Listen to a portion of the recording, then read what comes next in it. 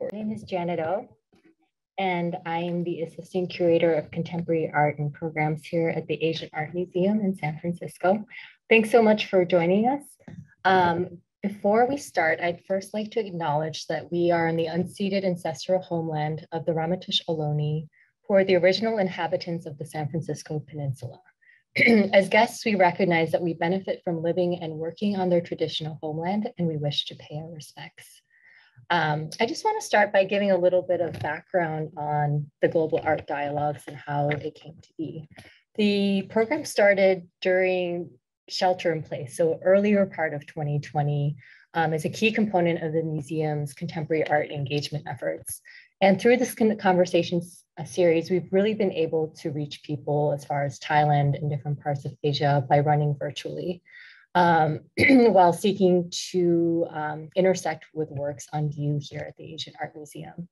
Um, so in a way, it's been locally and globally connected at the same time.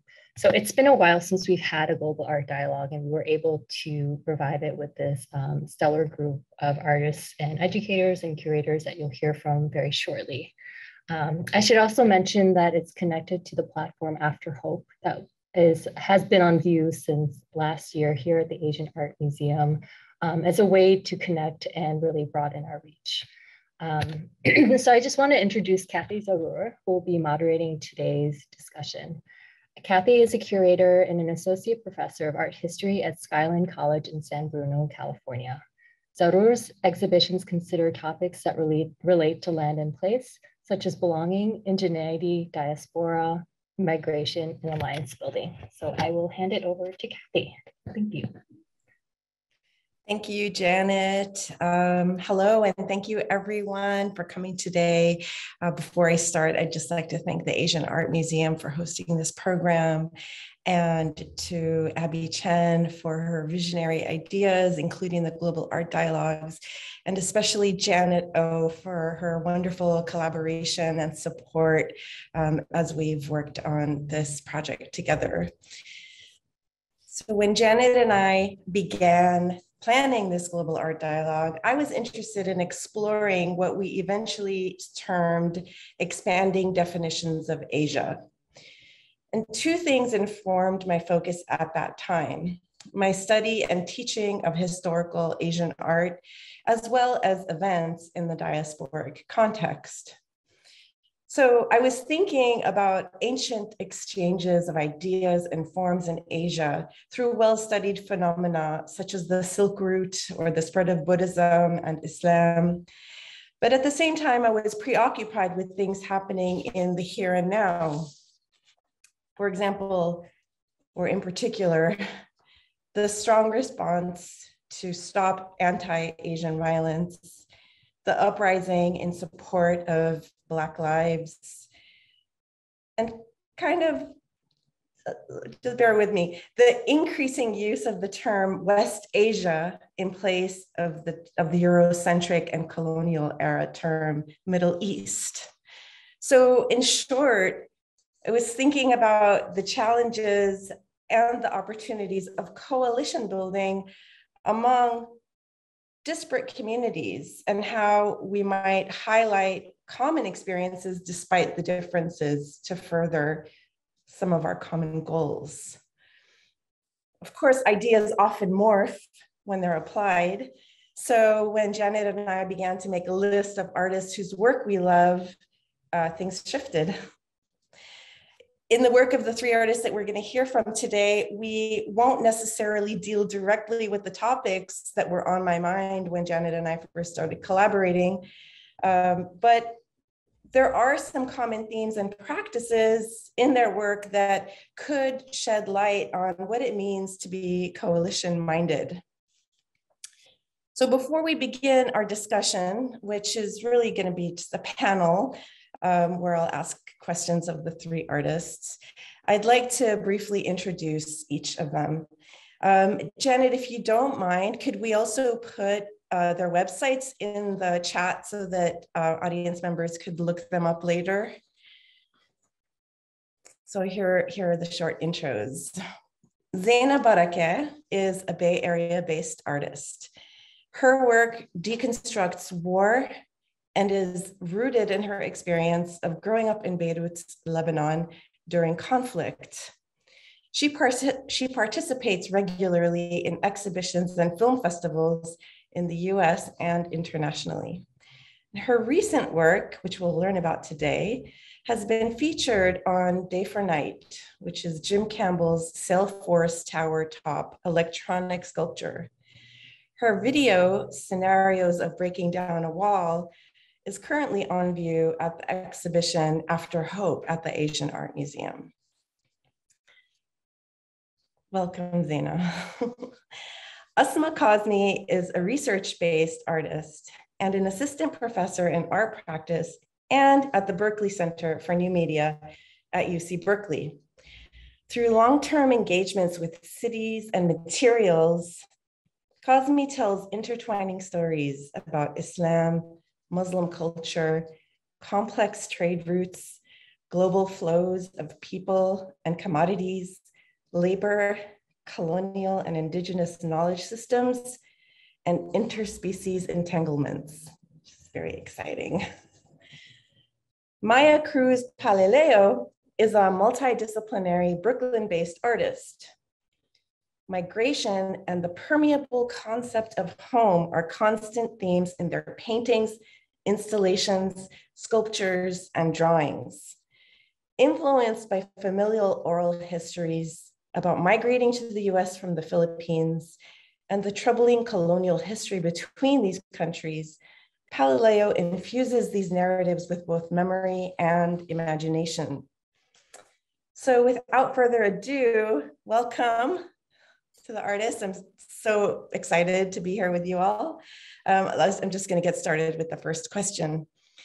Um, okay, so each of you brings, excuse me, each of you brings historical visual forms into your artworks. For example, Asma, you refer to the 17th century Mughal Emperor Jahangir in one of your self-portraits.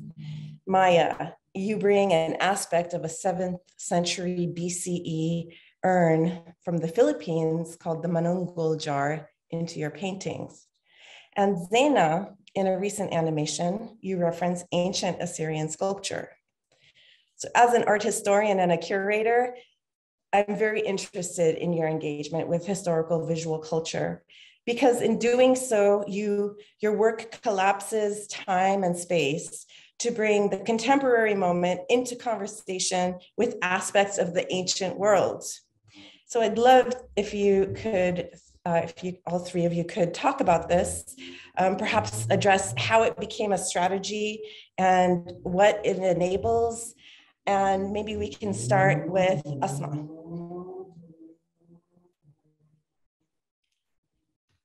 Um, thank you so much, Kathy um, and Abby Chen and Janet O um, for inviting me and for organizing this. Um, um, Kathy, thank you for your question. Um, you know, in, in, in order for me to think about this idea that you're referencing of collapsing space and time, I, would like to use a specific example of my work as you referenced, um, where I, um, which is instigated by an image of, uh, or a gesture of the Mughal Emperor Jahangir. Um, and um, in this project, I repeat this gesture to create an interaction between multiple locations and times um, in order for us to learn something about um, the present moment and in specific um, about how we re relate to materials. Um, so um, just a little bit of history about Jahangir. Jahangir was a Mughal emperor who lived in the uh, late 15 and early 1600s in India. Um, and he was a collector. Uh, he was given the name World Seizer. Um, and this image that you see here on the left um, shows him um, holding a globe in his hand um, as the World Seizer. But he was a collector of all kinds of strange things uh, and, and non-strange things like animals and plants, minerals, uh, weapons, um, textiles. Uh, often commissioned portraits where he would hold an object um, that he valued in his arm, um, lifted up to his face, um, and gazing um, at this port at this object. So I've been fascinated by this gesture, um, um, it, which reads to me as a kind of embodied um, enchantment with the material world. You know, I've been thinking about this as as as a question. You know, what kind of scientist or emperor in this case poses over and over again uh, with an object. Um, what um, what is Jahangir thinking about um, um, the the thing that he's um, meditating on, um, and you know what are his experiences with um, with matter and the material world, and so. The, these questions led me to a workshop that I did with some students in at Habib University in Karachi last year, where we studied Mughal Islamic miniature painting, but we also made lists of all of our personal possessions. Um, and um, you can advance to the next image, Kathy, um, or whoever's doing it. Um, and, um, and, and so we posed with um, some of these objects that students brought in from their home. Uh, in, in Jahangir's pose, in order for us to um, to think playfully but critically about consumerism um, and our excessive consumption uh, of things like plastics and electronics, uh, which we held in our um, palms and uh, posed with. So just to wrap up my my answer, I don't want to take up too much time. Um, you know, this project uh, uh, uh, for me um, represents looking at the past, looking at Jahangir, uh, but also thinking of it in a critical way. Um, it, we're, we're borrowing from something from this kind of Islamic um, ecological and material awareness. Um, but, you know, I, as I spoke to the students, we're also mindful that Jahangir's portraits are a kind of projection of power. They're hierarchical, uh, they're patriarchal. Um, so, so, you know, in order, so, so the part of the idea of the project was to create a kind of intervention um, using this gesture of holding and the gaze um, with seemingly mundane objects to um, to not depict them as property, but rather to cultivate a kind of complex engagement with everyday objects. Um, so yeah. Thank you, Asma. I love this work so much. Um, Zeina, would you like to go next? Uh, yes, sure. And uh, I too want to thank you, Kathy and Janet uh, and Abby, and for including me in this panel. Um, and um, I'm very happy to be in conversation also with Asma and Maia. Um, so for for what I want to talk about with this work, uh, it's it's called Standard of Capital, and it's screened on the Salesforce Tower. So thinking about this question of history, I think for me uh, this work, when I conceived it, it engages with history on two levels. Um, so the first one, uh, actually, uh, the source inspiration for this work is a Sumerian tablet called the Standard of Ur. Um, uh, maybe please, if you can just uh, jump to the next slide, just because I'm just going to talk about this. Uh, yeah, so this what you see on the side. It's uh, a Sumerian tablet, standard of Ur. Um, and uh, it has two sides, the war panel and the peace panel. And I was intrigued by it and I was thinking about it for like many years. And then it made sense for me for this work. Um, so I named the work, it's called Standard of Capital after this work.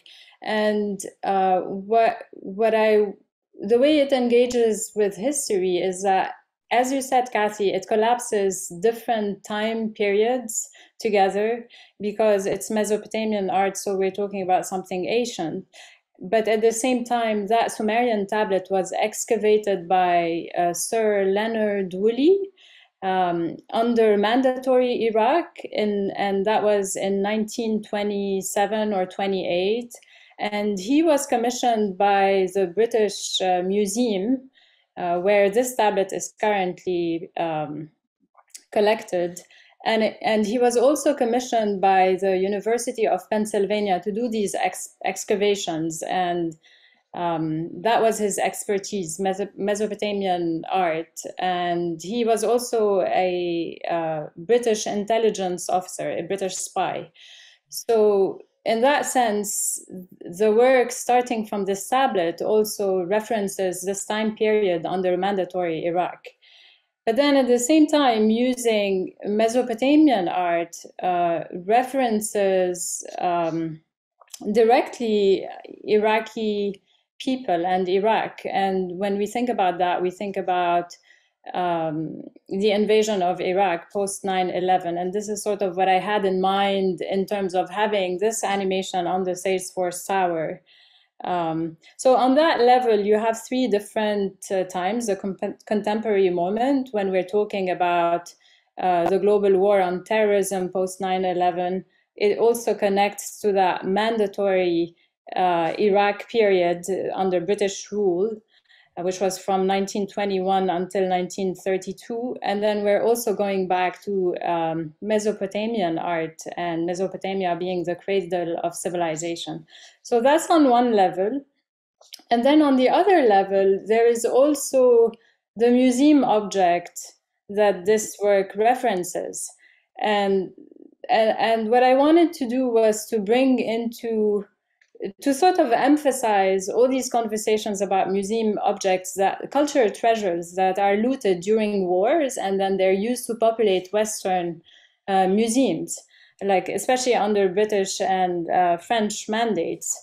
Um, so that was the idea. And i read in a recent article by in the atlantic by samuel siegel um, that uh, the US Immigration and Customs Enforcement repatriated more than 1,200 artifacts between 2015, uh, sorry, 2008 and 2015.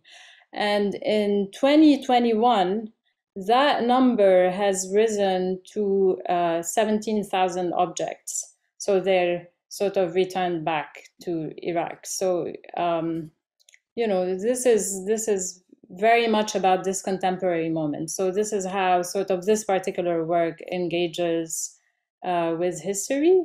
Um, but generally, also all my work kind of goes back to uh, a colonial period, um, whether it's with my animations or other works. Um, thank you. Thank you, Zeina. Yeah, you bring up um, the topic of archives, museums, collecting, um, slash looting, which is another um, another direction we could definitely go in this conversation. Uh, I think we could talk for a really long time, but we only have one hour. So um, I would love to hear from Maia on this question. Yeah, I would love to be on that. Panel. I would love to talk more about that too. um, yeah, um, also thanks everybody for organizing this panel and for all of the people here for joining us. Um, it's so great to just uh, hear what um, what everybody's been talking about. And you know, I was thinking about this um, question about these uh, these artifacts, and I think for me, um, you know, I I definitely think about the gap in um, in knowledge, I guess, or learning about my, our you know where my family comes from. And you know i know in the at the met museum i know exactly where the philippine objects are and i go to see them and they're like these burial things and there's like two of them and um, so it's interesting to think like being in uh, western education um, painting you know i'm so saturated with the western uh, canon and uh, paint what you know western paintings. So for me it was a really um, important uh, for me to kind of learn about this this um, this jar, this manunggul jar, and um, and how it kind of resonated with some of the other themes that I had seen in in other historical uh, art historical paintings um, that weren't necessarily from the Philippines. But um, but yeah, I think that this is a painting that's on the screen that is sort of inspired by the the jar, the burial jar, um, and that's my grandmother there sitting in the front of the boat, and she's being ferried into the afterlife. And um, you know, I think that incorporating um, my family and into into my paintings sort of brings things into the present. And I think one of the things I think about a lot is like how much was lost in in migration and, and in between the generations. You know, and I think and also just of all the centuries of colonization and uh, sort of this dysphoric feeling of I, I don't know what what um, what our history is, uh, sort of feeling lost in that. So I think for me in painting and, and looking into um, these historical objects and also archival research is is just a really um, it's sort of a way to be in that space of uh, even though it's complicated and the, the people who have how these objects got in these collections is you know questionable and violent. I mean that's that's it. Like that is our history. So um i think that um yeah those are those are sort of the things that i was thinking about that those those gaps and how how bringing them into the work today. Um like you said um collapses time and space. And that's another thing that i think about a lot is this like idea of separation between i guess ancient you know the ancient things that we see in museums and that that's it was interesting because when i was doing research in chicago at the field museum i was talking to one of the um, the director there about the philippine collection that they have there. And and it was interesting because the older generation was sort of separated. They were like that's not us. Those are those are like the i don't know primitive people or something. And then the younger generations coming to see and there's this desire to learn more about it and to sort of own that. So um, yeah i think there's an image of the jar that you can see um, in the next slide and then just another example of like a western art historical um, painting here at the prado. And then the other one is in in manila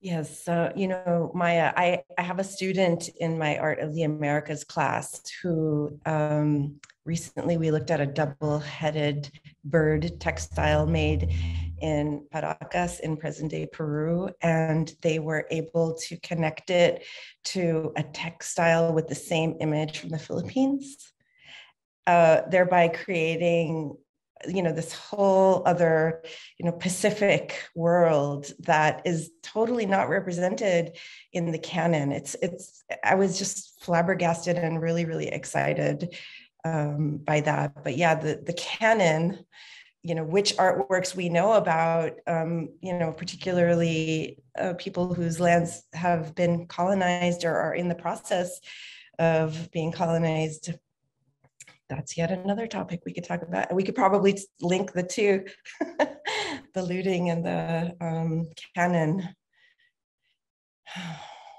Um, it's intense. So thank you, Maia. Um, maybe we can go on to the next question. Let me look at the time, make sure we have enough time for audience questions as well. I've got a couple more questions for everybody. Um, so the next is um, to all three of you. Uh, would you agree with my reading that your work confronts power? And I define power in relation to empire, colonialism, and the state as it impacts people on both the domestic and international fronts. I'm thinking about this as it relates to the visual and conceptual strategies that you three employ and these strategies include serious engagement with materials, the use of humor, making the art personal by bringing in references to family or using self-portraiture or performance. Um, I'm hoping that you three can talk about your strategies as ways to confront power. And I'm, I'm not even sure if the word confront is the right word. Um, so if you could just talk about how your strategies uh, engage with power.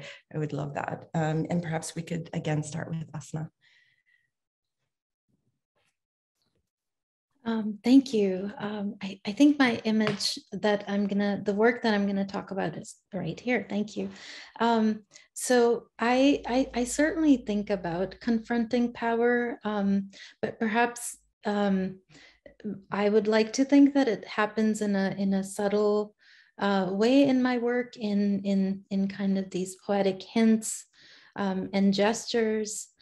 and one way that I think about confronting power is to put the viewer in a in a kind of productive um, discomfort, um, and I'll I'll speak about that um, just in a second. Um, so, uh, you know, for instance, this work um, that you see in front of you, it's called uh, Cranes and Cube.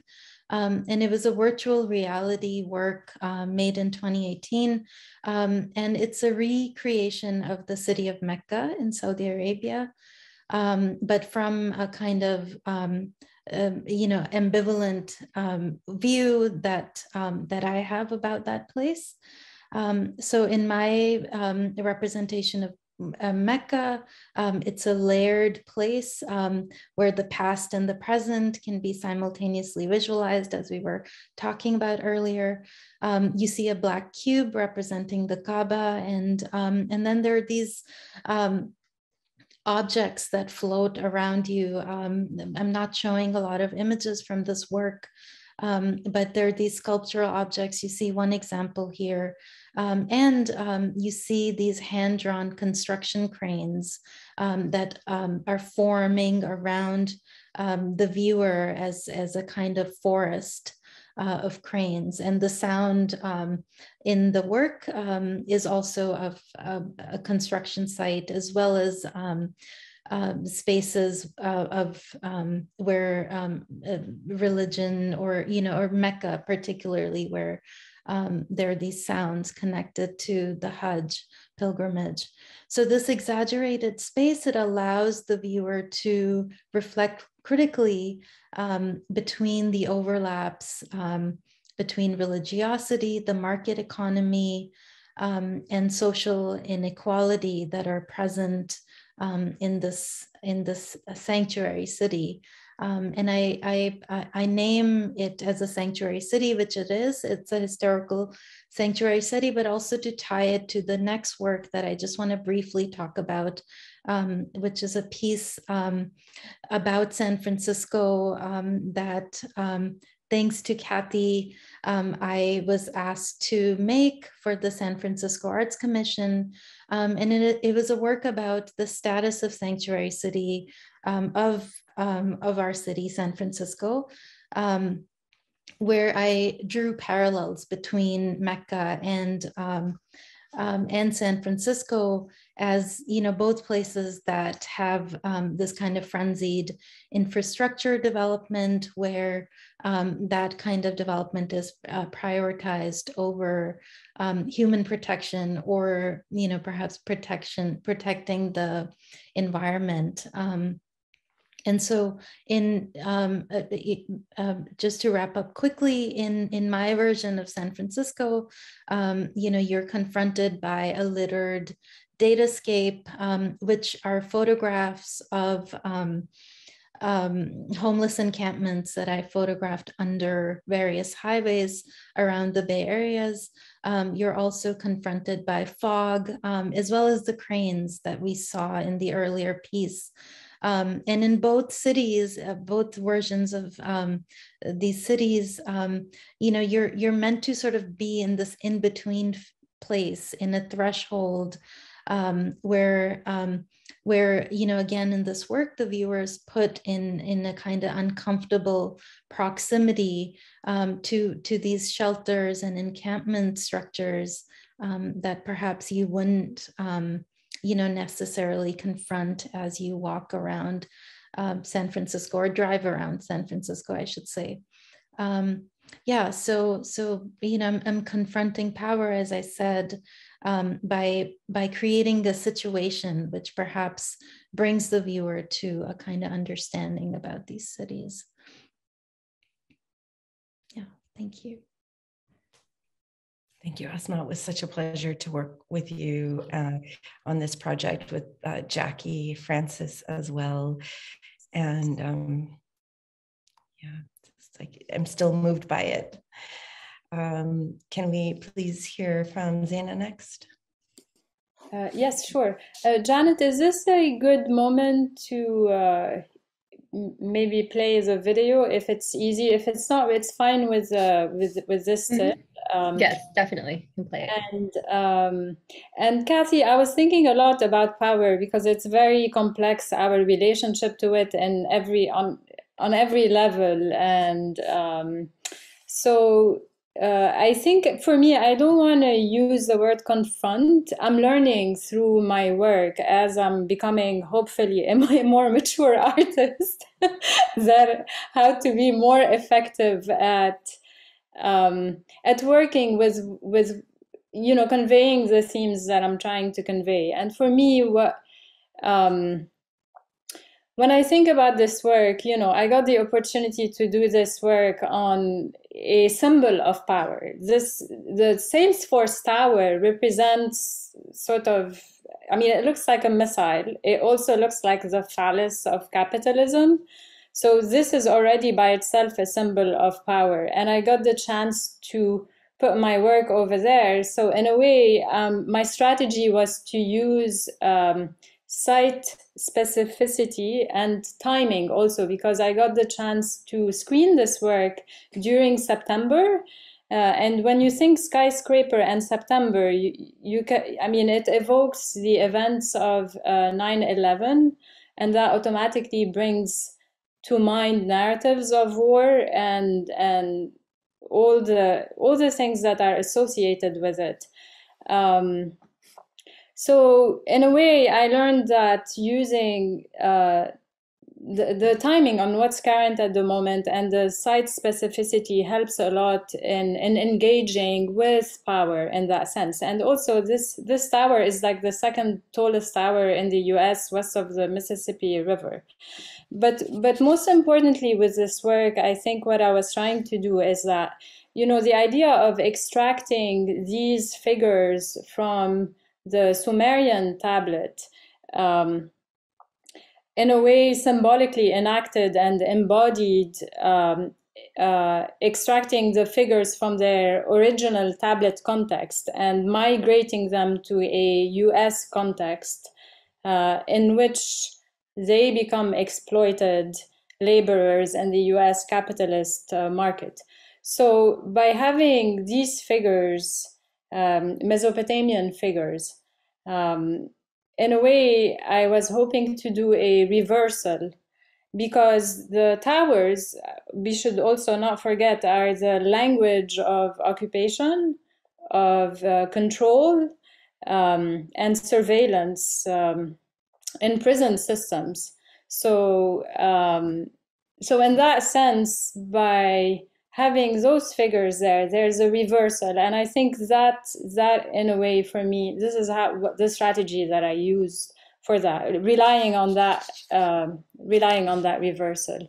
Uh, in other works uh, thank you so much janet for the video. If it's uh, possible to jump to the i'll just be very brief to talk about another work um, uh, the next slide.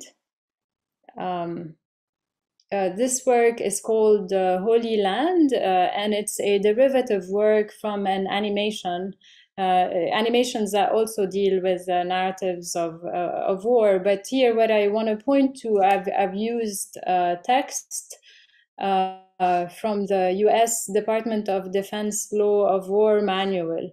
So here, um, I am sort of looking at the laws that regulate uh, wars and how they're abused or not necessarily followed. And and these you know i have uh, images um, of stills that are sort of coming from different animations and i sort of collapse them together. And then the text next to it it has definitions that are used in war but they're contested definitions.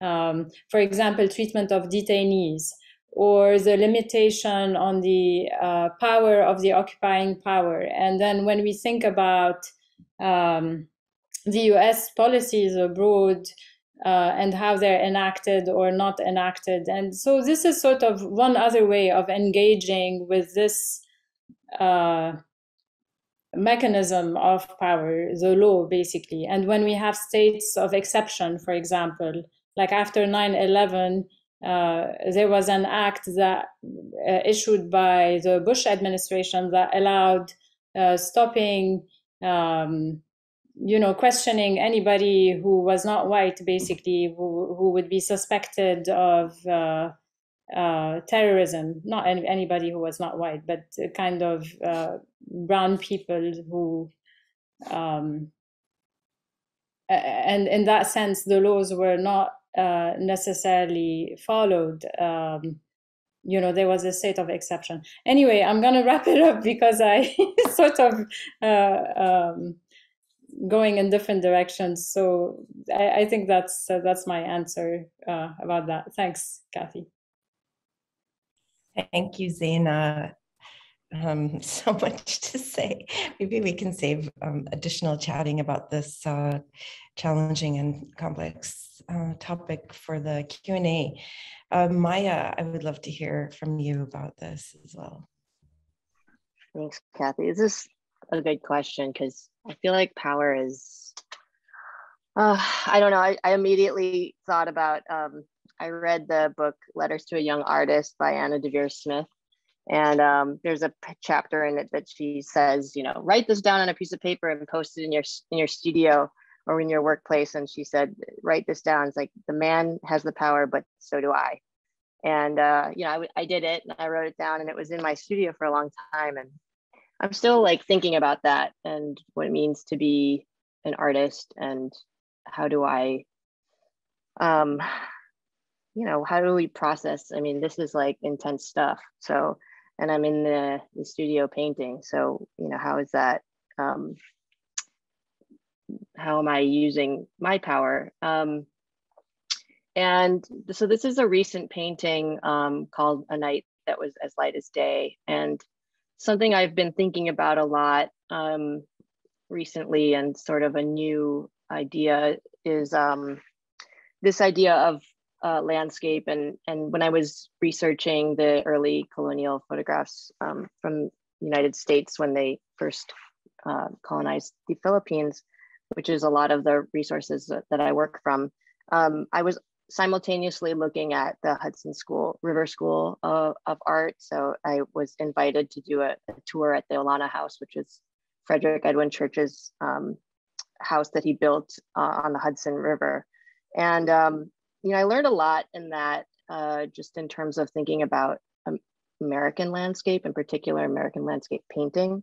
And when at that time, when when those paintings were um, being made and what was going on during that time and this whole you know idea of um, domination uh, natural resources manifest destiny and the creation of the science of race and justifying genocide and slavery and and it all just goes with all this empire um, making. And um, I was thinking about the, the way that they would use figures in those works as sort of a just a like when you would put like a pen in a photograph to show how big something is as a as a tool for scale um, as well as sort of being bunched into this um, idea that they're part that the landscape is this wilderness to be conquered and, and dominated and land is free to take. And you know i think um, that's something that is just as in terms of painting in this painting i was thinking about ways to sort of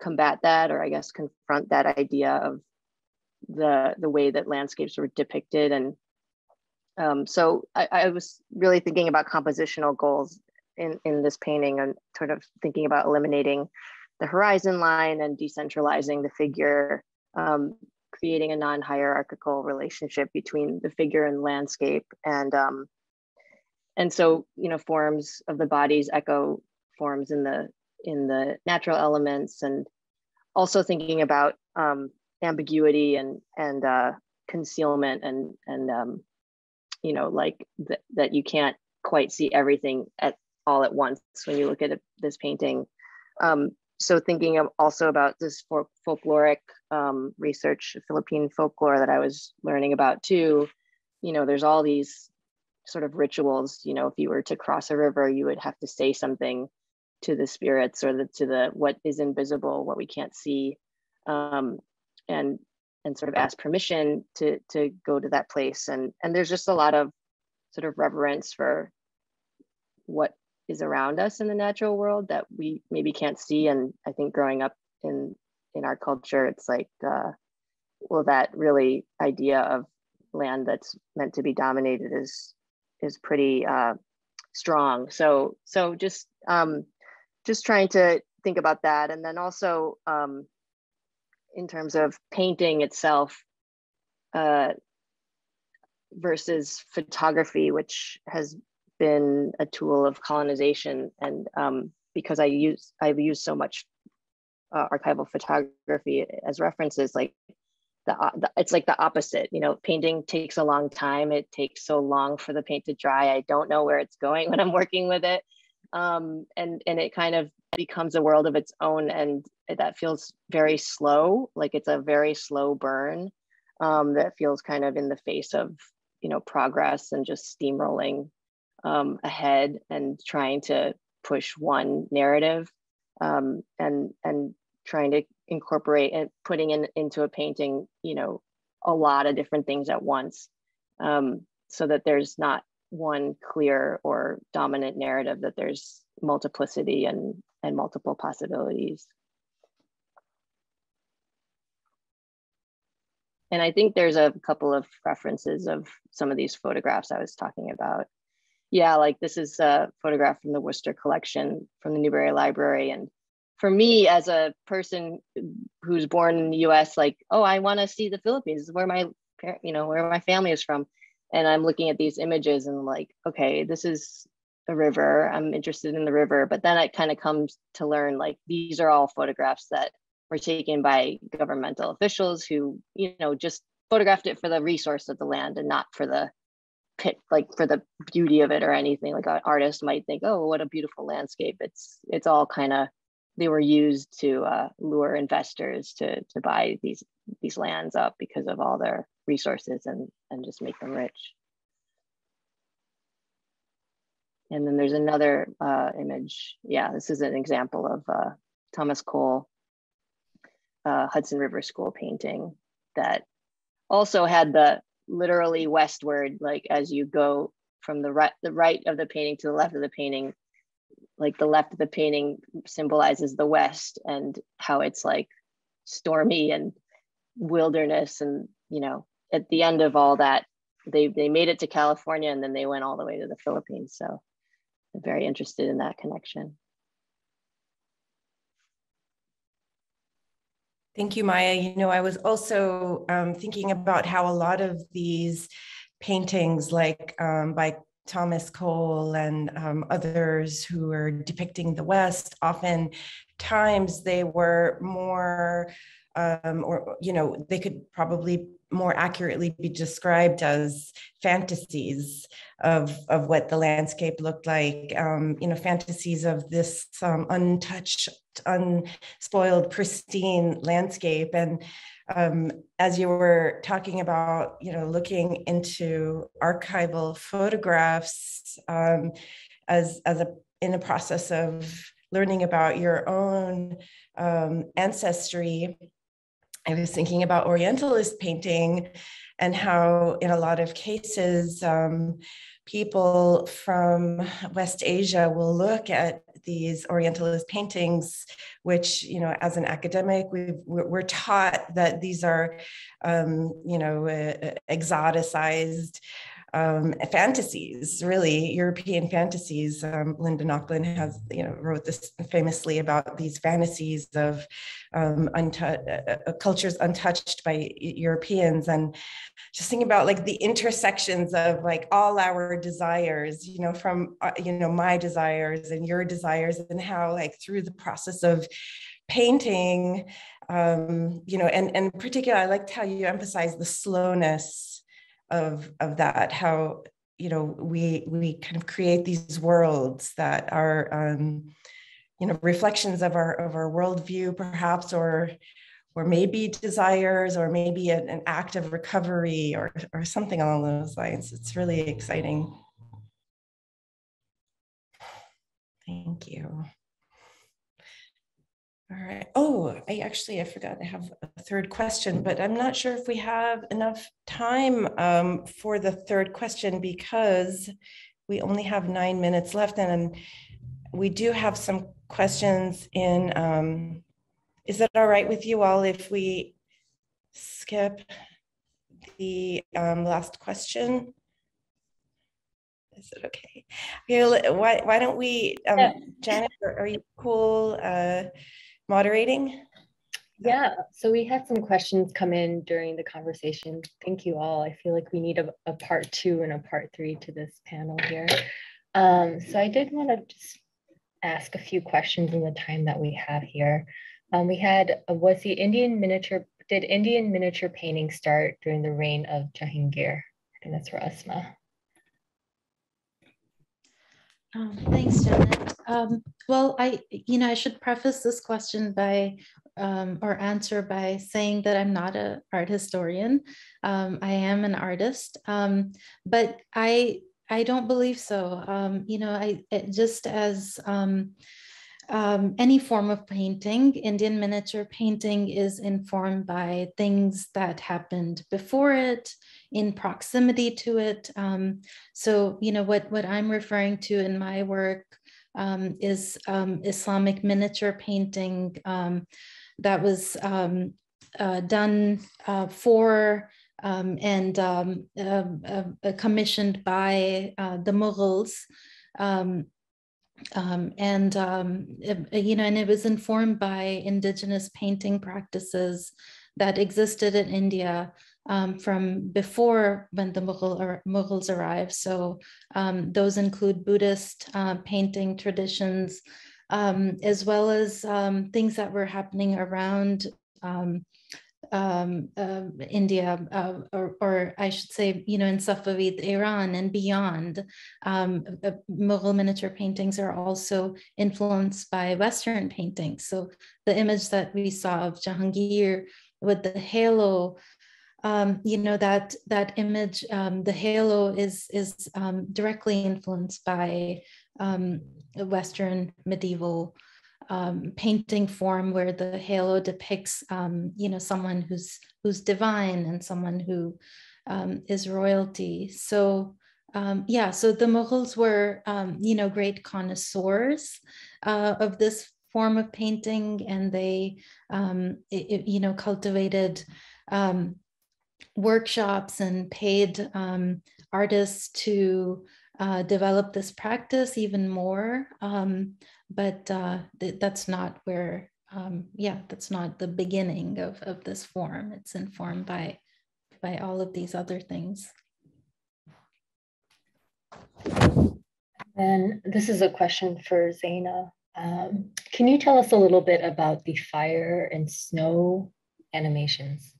Uh, yeah, so the fire and there's smoke and gas that you saw in the video, uh, that is also a a way to reference natural disasters and how capitalism also fuels sort of global warming. And so not only war. So that was the reason why i had the fire. So it was uh, playing on that, uh, the global work, warming, the environmental uh, problems that we have today in relation to capitalism, and also um, reminding also of the events of uh, September 11.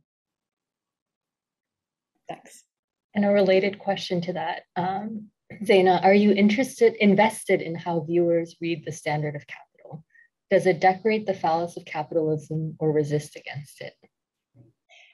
Uh, invested, I'm definitely invested with how people read the work because the audience completes um, the, the the meaning of the work in a way. And uh, I mean, um, yeah. So in that sense, I'm I'm I'm definitely uh, invested in that, and people can you know they they want to respond to it the way they um, they respond to it. It's they're going to relate to it the way they relate to it. I cannot control that but i can learn from it and that helps me um, make my work uh, or uh, use my work more effectively in the next artwork that i make because just going back to Kathy's idea about power, art is also a form of soft power for us to achieve things that we want to highlight, to make visible narratives that are invisible, uh, to raise questions that will help shape the current context. Thank you. Thank you. And for Maia, where does your desire to paint landscape and nature come from? Can you explain what the figures are doing in a night that was as light as day? And what do you want people to take away from viewing this painting? Oh, good question. Um, you know, I like that you use the word desire. I, I think like um, I was thinking about that in that last question about power um, because I think that um, part of the landscape comes from just like I had shared that photograph of of that river. Um, I, I've just like just maybe naively a curiosity about this country that my parents called home that I never lived in. So I had so it's like for me it's a way to see that um, and then to to paint them um, becomes this that sort of that desire comes into the painting and um, and I think there's a, set, a sense of sort of like embodiment that happens um, in that process of, of painting where I'm looking at something, let's say an image or uh, a lot of the family photographs are they're usually outdoors or in in the environment. So for me, that's that's a connection there that I have. And um, in terms of what the figures are doing, um, I I kind of would love to leave that up to the viewer. It's uh, with that sort of slow looking at that painting. Um, I think that it's uh, not quite ever really going to be clear what they're doing, and I think that's part of um, this question of uh, opacity and um, you know this sort of desire to feel like as a viewer it should be clear, or um, but then that there are ways that the painting itself obscures itself like there are figures that are painted over under those layers and it's similarly in the land that like i'm sitting on now like i'm not the only person that's ever lived on this house and i don't know there's a history like there's a history underneath that isn't isn't totally visible so um uh i think that's that's something that i'm thinking about a lot now too is what we can see and what we can't see and what what sort of stays hidden under these layers Um, I'll have, I'll just add my own question that came up when listening to all of you. Um, so I've seen just different places show up. So San Francisco, Mecca, Salesforce Tower, Philippines. Um, I'm wondering if there's any kind of link or like how and if you work with um, your own family or your own communities directly when developing your work. And this is for anybody. I can jump in. Um, yeah, I I'm just gonna say yes. Like that was kind of how I got interested in the work that I'm making today. Um, in, when I one of my first projects that I did, I recreated my grandparents' living room. They lived in Indiana, in Fort Wayne, Indiana, when I was growing up in Chicago, and um, one of the like that experience of making that room. Um, I remember one time I had a critique. This was in grad school, and uh, everyone came in and they were like, this looks like my grandma's house. This looks like my grandma's house. And I was like, your grandma was not Filipino. And then I had this like realization that like, wow, they really were very assimilated. Or and so it made me ask this question of, well, how much did they want to show where they were from, or how much were they able to bring over? And then it sort of sparked this curiosity um, and I, I actually feel like my grandmother was my collaborator um, throughout and she still is even though she's not here with us anymore. Um, so yeah i think family has been at first was kind of this thing that nobody seemed to care about but me especially in crits and stuff like that it's like what what are you making personal work about? No one's going to care. Um, but today you know that feels feels very clear um, why that was there and that i feel grateful that i followed it because it continues to unfold. And of course the personal always relates to uh, everything else. So that's my answer. Yeah, I I can I are we out of time? Can I just okay, I'm just going to quickly say uh, that I totally agree with Maia that um, you know, my work too often comes or um, is is sparked by a really personal experience or uh, a familial history. Um, and then you know the, the the personal sort of becomes a prompt to engage in a kind of open-ended immersive investigation and research and and so sometimes the the personal gets buried um, in um, in in in telling uh, these larger histories and stories but but it's always the place where things are um, started and initiated in in my work uh, thanks, Asma. And for me, the same as Maia and Asma, also the, the, personal and the family is always sort of at the source of the work that I'm making. It's either the location that I'm referencing or the history that I'm referencing. And it also, it's always, again, it depends on the audience, who that audience is that is looking at the work. And this relates to the question you asked me before, Janet. Uh, sometimes people will get some references, but not everything. And it's okay because uh, we relate to the artwork, we project often uh, our own experiences into the artwork that we're experiencing. So, in that sense, not everything is going to come through, but the source of any i mean for me with any work coming um, that, that i make is definitely the sources where i come from and my experiences growing up and my family and my culture. Thanks. Well, thank you, everyone. You won't, won't go an extra hour, even though I think we can do that easily. Um, I just want to thank you all, um, Kathy, Maia, Asma, and Zeina, for taking the time and to our audience. Um, we hope that you will visit the Asian Art Museum and also see the, um, the exhibition After Hope that these dialogues kind of emerged from. Um, so thank you all so much um, for taking your time this afternoon and we hope to see you soon. Thank you. Thank you very much. Bye. okay. Bye. Thanks, Bye. everyone.